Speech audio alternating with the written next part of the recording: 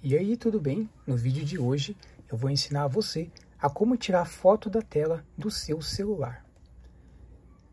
Eu vou te dar um exemplo aqui, digamos que você está pesquisando alguma coisa na internet e você quer tirar uma foto dessa tela aqui.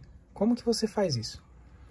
Por padrão, no telefone Android na Samsung, você vai pressionar dois botões ao mesmo tempo. Aqui temos o botão de volume mais, volume menos e o botão de bloqueio. Você vai pressionar o botão de bloqueio e o volume menos ao mesmo tempo. Esses dois botões aqui, ó.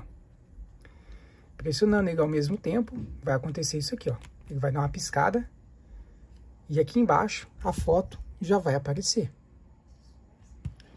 Essa daqui é a foto. Você tem a opção de editar, compartilhar e excluir. Eu vou editar essa foto.